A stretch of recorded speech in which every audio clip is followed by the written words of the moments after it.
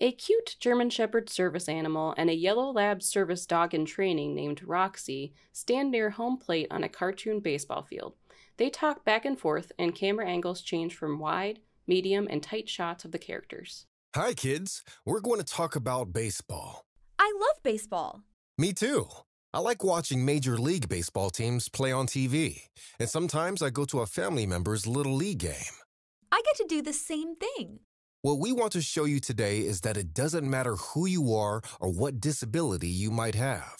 Everyone can play baseball. Really? Any disability? Yes, I'm going to take you to two different baseball games or practices. One is a fully accessible baseball field, so it's easy for people who use wheelchairs or canes to get onto the field. But first, I want you to meet the New Jersey Titans. They play in a beep baseball league. All of the guys are blind or don't have a lot of vision who are on the team. That's so cool. I want to meet them. Let me show you some of the action first. Series of quick shots of pitcher tossing ball and Damian Gonzalez hitting it and then diving to field a ball. Set. Ready. Pitch. This is the New Jersey Titans beep baseball team. Alfonso Harrell hits a line drive just over the pitcher, followed by Zach Turner drilling a line drive into left field. Interview order is Alfonso, Damian, and Zach. They're a force to be reckoned with, with guys like Alfonso Harrell, Damian Gonzalez, and Zach Turner. These guys are like family, you feel what I'm saying? Um, you have to trust the guys that you want to field with. My favorite part has to be winning as a team. I've been playing beep baseball for four years. This will be my fifth year. Um, I love the sport. I found out about it when I went visually impaired in 2016. Coach Nestor Gonzalez throws a baseball into right field during practice. Set. Ready. Ball. Nestor Gonzalez is the coach and manager of the Titans. Some of our players are totally blind, some of our players are partially blind. Everyone wears a blindfold, or what can be called a goal fix, which is designed for sports to make sure that no one has an advantage when playing. On the offensive side of the ball, the pitcher and the catcher are on the same team as the batter, and the pitcher's job is to find um, a good cadence with the batter. We say set, ready, pitch. Batter swings uh, and hits the ball out into the field. It's all about timing. It's all about rhythm. It's all about you and that pitcher having that connection.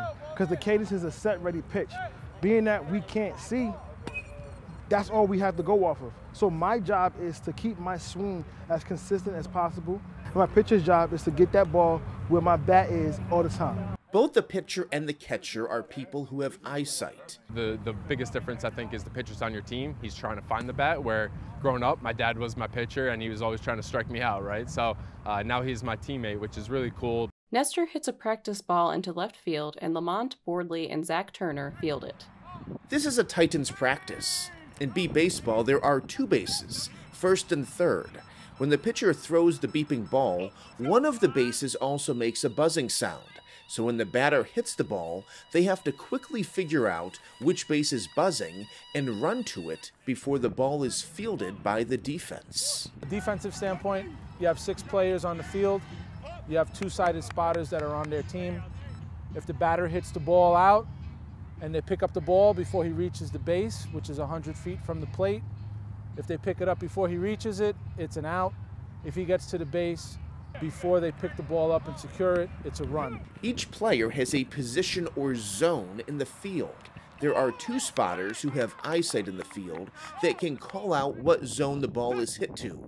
At that point, it's up to the players to communicate amongst themselves to track down the ball. Lamont and Zach field a ball. Right here. Under me. Yep. Up. Get these at. You know, every game's competitive. Every game, the other team, you know, they're coming out to beat you, and we're coming out to beat them, and it's what I love about it. The New Jersey Titans play in tournaments all around the country, including the Beep Baseball World Series. Spike and Alfonso Harrell stand on the grass at a park in Newark, New Jersey. Camera angles change between wide and tight shots of them. We just finished a beep baseball practice, and I want you to meet two of my friends who are great players. Hey, Spike, how you doing? Hey, Alfonso. I'm good. How about you? I'm good. You guys were looking great at practice today. It seems like you work really well together as a team. Man, teamwork is everything. That's how you win. Um, because I have to trust the guys in front of me. I have to trust the guys that are behind me, and that comes from teamwork. So if that ball is hit and and, some, and, so, and my teammate tells me it's where it's coming from, and I get that ball, it's, it's, it's a good feeling, Spike, because, you know, we all win when we can pick the ball up on defense.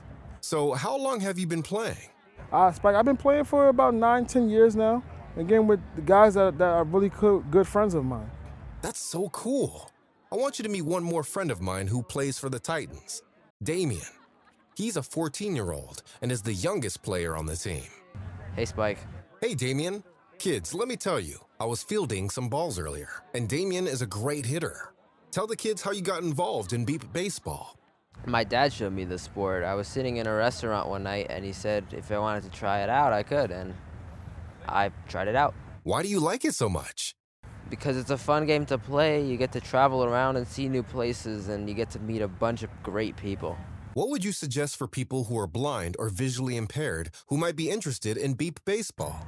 I would tell them to go try it out, and if they if they like it, and I'm sure they will, because it's a pretty hard sport not to fall in love with, then they'll find a great thing to do to stay active, to have fun, and meet new people, just like I did.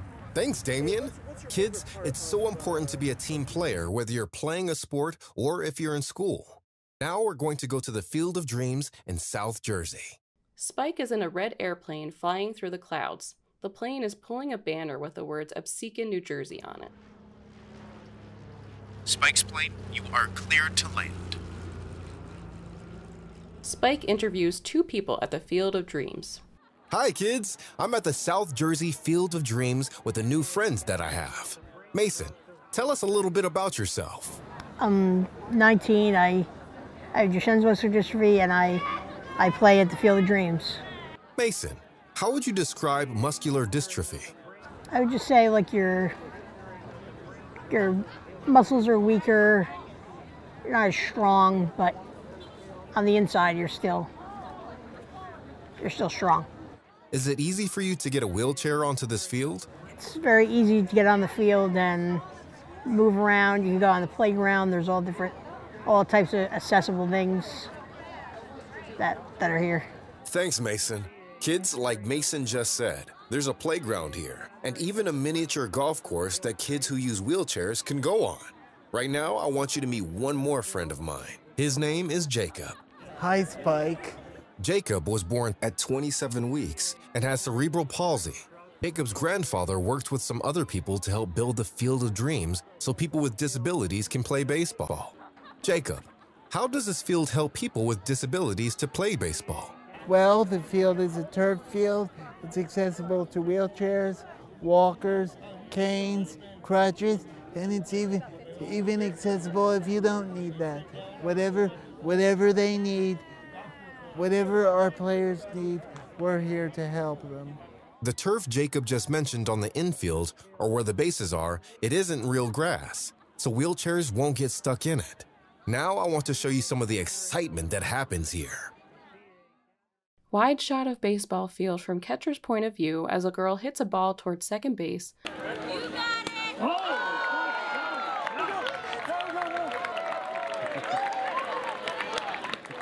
A series of people hitting the ball and running or rolling their wheelchairs to first base. Wow, the Field of Dreams in Absecon, New Jersey is a fun place to be. Abigail Tejada and Mason Dell think so. They play baseball here. It's fun. It's just really fun. The coaches are also really nice here. Like they talk to you a lot. Like we have questions, you can just ask them.